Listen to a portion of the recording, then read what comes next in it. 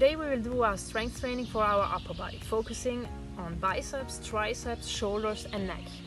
As a regular cyclist, strength training should be a part of your training routine. Especially for us women, it's really important because we have a lower uh, body muscle mass percentage than men and we build muscle more slowly.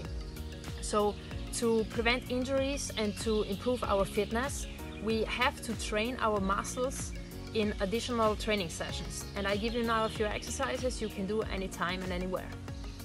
So let's start with our training. We will do five exercises and you have to do three sets of each exercise. The first exercise are dips. Dips on the floor where we train our triceps. So sit down, shoulders over wrists, the fingers are looking forward. Lift your hip and now bend and extend your arms. Inhale when you go down, exhale when you come up. And push your elbows backwards when you go down. Don't push the elbows to your side, okay? Do 8 to 12 reps and repeat this exercise for 3 times. Rest around 30 seconds. The next exercise is for our upper back and our neck. Go in a face down position. Your legs are extended and lay on the floor.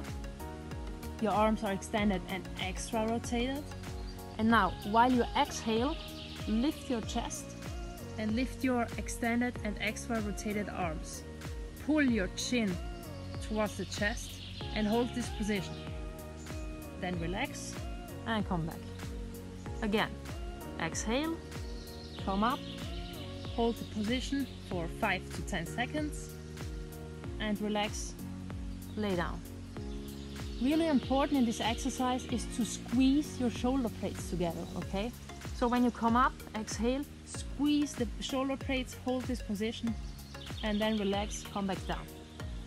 So repeat this eight times for five to 10 seconds. The next exercise is an isometric bear hold.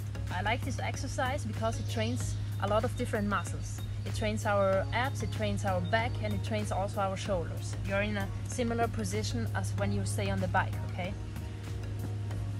Elbows over wrists, Again, hips over your knees, then lift your knees, activate your abs and hold this position for 30 to 60 seconds.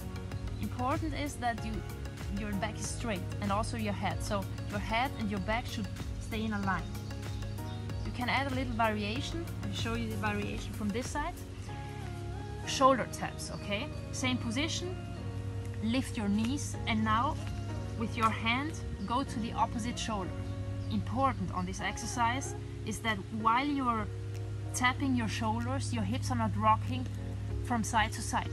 So you have to activate a lot your abs and your glutes to hold this firm position.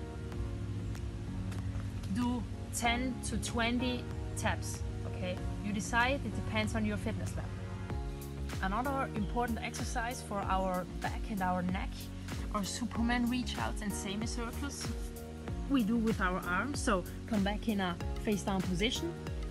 Legs are again extended but lay on the floor. Squeeze your glutes. Extend your arms and do 10 semicircles, okay? So this is one, two, and so on. Also here, concentrate to squeeze your shoulder blades when you go back with your arms. Then, without resting, do Superman reach outs. So bend and extend your arms. Inhale when you bend, exhale when you extend. Then rest 30 to 60 seconds and repeat the exercise. For our biceps, we do a bicep curl. So find a bar, find a, a door frame, or in my case a tree you can grab with both hands. Start with extended arms. Now, while you exhale, bend your arms, squeeze your bicep and pull your body up.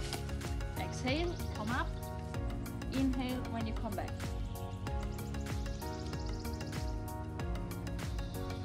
Do this exercise for 10 to 15 times and repeat the exercise for three sets.